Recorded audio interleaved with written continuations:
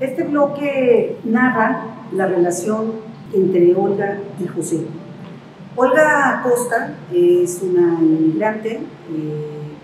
de ascendencia ruso-judía que primero pasa un tiempo en Berlín, nace, ahí ella nace, su familia llega a Berlín, nace ella y nace su hermana, y después llegan aquí a México y se establecen pues desde que ella era pequeña en la Ciudad de México y tiene un desarrollo eh, pues muy interesante eh, donde ella es muy consciente de que vive un país muy diferente de los que previamente había experimentado y que le es pues mucho más íntimo y mucho más enriquecedor que el que ella vive en su primera infancia, que sería en Leipzig, Alemania. Este, este trabajo entre ellos dos es muy interesante porque la cultura de ambos, siendo distinta, se complementa. Olga eh, se dedica más a la parte privada, a la parte de pintura de caballete. De hecho, ella comienza sus clases de formación, es donde conoce a José Chávez Morado, eh, toma algunos talleres con Mérida, con Tamayo, eh, pero no puede continuar porque no tiene los recursos para ello. Su padre es un gran músico, estudia eh, la Escuela Contemporánea de Música con, con Schoenberg en Austria y viene a México y sí ejerce como, como un intelectual de su época, eh, trabaja sobre todo para música, para ballet, música eh, para orquesta, y, y, hace un trabajo eh, conjunto también con Chávez Morado desde lo ideológico. Pueden ellos coincidir, porque al principio el señor Kostakovich no estaba muy de acuerdo con la relación, no entendía muy bien por dónde iba José Chávez Morado y qué quería con su hija Olga, eso siempre pasa pero al final tienen un acercamiento importante precisamente porque nos une este, este sentido de, servicio, de, poner de manifiesto un enunciado cultural frente a una comunidad, etc. Eh, la parte interesante es también la relación de Olga y José, por ejemplo, con la hermana de Olga, que es Guía, que siempre va a ser una de las grandes confidentes de Olga, pero que además se casa con el gran crítico guatemalteco eh, Luis Cardosa y Aragón, que va a ser uno de los grandes pensadores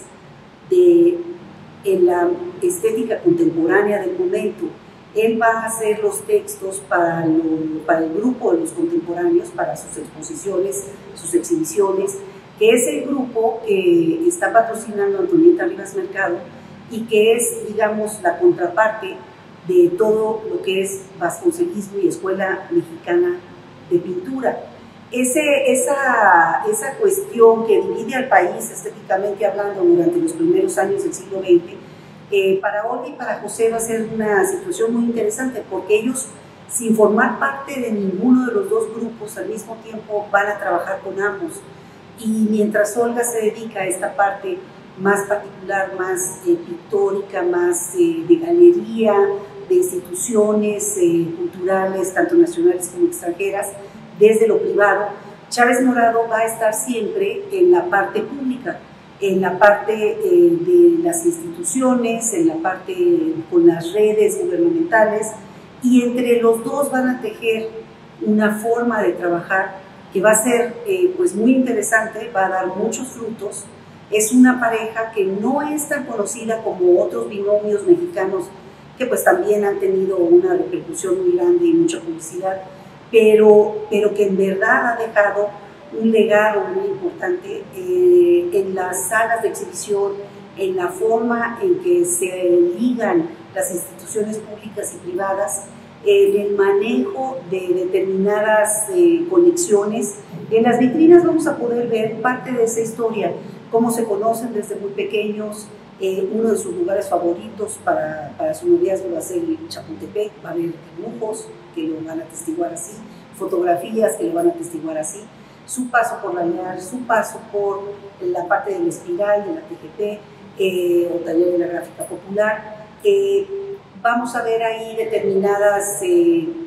objetos de colección que tienen que ver con el rescate de las artes populares en México, tanto de la época del virreinato como de la época decimonónica. Y, bueno, sus estancias en San Miguel de Allende, en Coyoacán, que en ese entonces era un pueblo todavía en las márgenes de la Ciudad de México, y sus estancias más tarde en Guanajuato capital, en el barrio de Pastita, pues van a ser para ellos eh, un lugar, digamos, de pensamiento importante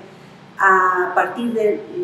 estudio de las tradiciones y de las eh, artes que tienen que ver precisamente con estos lugares que no son el centro del discurso moderno de la época.